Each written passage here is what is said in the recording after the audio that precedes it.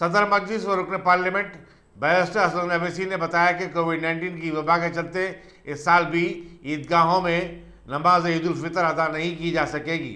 जुम्मतुल विदा के मौके पर दारुसलाम से ऑनलाइन जलसे यमुल खुरान से खिताब करते हुए बैरिस्टर अवैसी ने कहा कि कल रात उन्होंने रियासती वजी दाखिला महमूद अली से बातचीत की है, जिन्होंने भी इस बात का इशारा दिया है और कहा कि अवामी इज्तम पर हाईकोर्ट की पाबंदी के पेश नज़र ईदगाहों में नमाज़ ईद की इजाज़त नहीं दी जा सकेगी।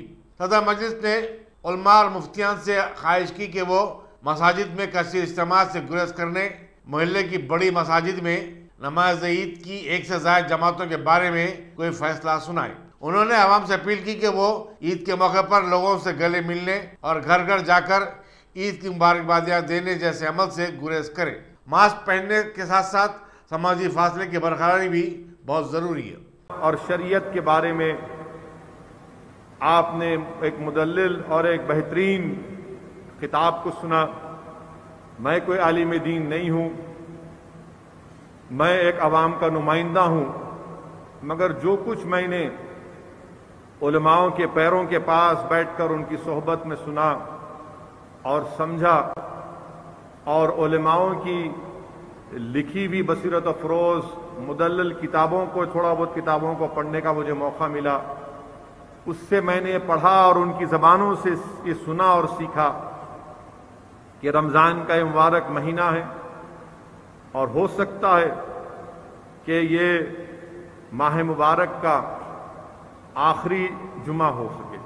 हो सकता है कि जुम्मतुल विदा हो और हो सकता यह है कि आइंदा जुमा ईद ना हो। बल्कि हफ़्ते को ईद भी हो सकती है। ईद के सिलसिले में मैं रियासत तेलंगाना की आवाम को बात बताना ज़रूरी समझता हूँ कि हमारे पास, हम इस रियासत तेलंगाना में रात में नौ बजे से कर्फ्यू है। और मेरी कल तेलंगाना हुकूमत के वज़ीर दाखिला जनाब महमूद अली साहब से बातचीत हुई फ़ोन पर और उन्होंने मुझे ये बताया है कि ईद की नमाज़ हुकूमत ईदगाह में अदा करने की इजाज़त इसलिए नहीं दे सकती क्योंकि कोर्ट्स का फैसला है, कोर्ट की हिदायतें हैं कि एक अवामी इज्तमात पर पाबंदी है।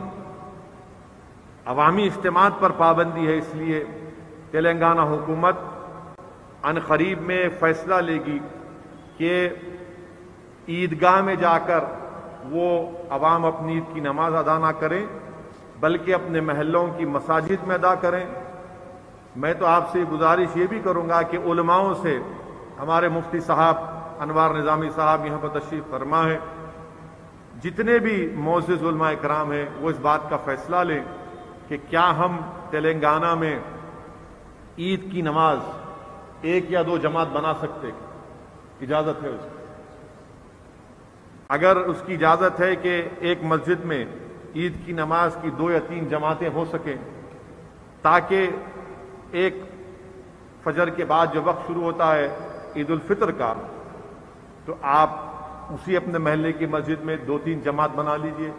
सोशल डिस्टेंसिंग को बरकरार रखकर आप अपने अपने महल्ले जात में अपनी ईद की नमाज़ को अदा करिए। और ये हुकूमत मेरी नज़र में ये फैसला सही है, क्योंकि अगर लाखों की तादाद में अगर हम ईद की नमाज़ अदा करने के लिए ईदगाह पर जमा होंगे तो यकीनन कोविड फैलने का पूरा का पूरा इसमें कोविड फैल सकता है। खतरा नहीं है, बल्कि यकीनन फैलेगा। तो इसलिए मेरी आपसे गुजारिश है कि हुकूमत की तरफ़ से जब फैसले का ऐलान होगा तो कराम से मेरी गुजारिश है कि वो इस बात का फैसला करें कि क्या मसाजिद में महलों की ईद की नमाज़ दो या तीन जमातें अगर हो सकती हैं तो उसका फैसला लें। मगर आवाम से मेरी ये अपील है कि ईद की नमाजें में मस्जिद को जाएँ, सोशल डिस्टेंसिंग को बरकरार रखें, अपने चेहरे पर मास्क लगाइए, खुदा के लिए मास्क लगाइए।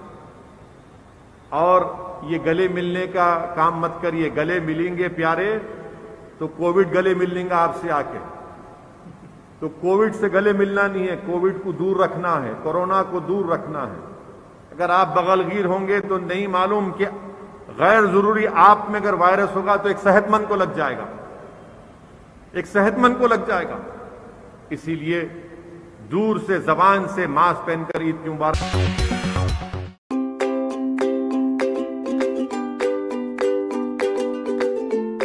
Every child's success story starts here, like a multifaceted diamond. Every student who steps into Success School shines with brilliance, sculptured by teachers polished to perfection. If opportunity does not knock, I will build a door. To us, success comes in cans, not in can'ts. Success is falling nine times, getting up ten. Some people dream of success, others put their heart and soul into working for it.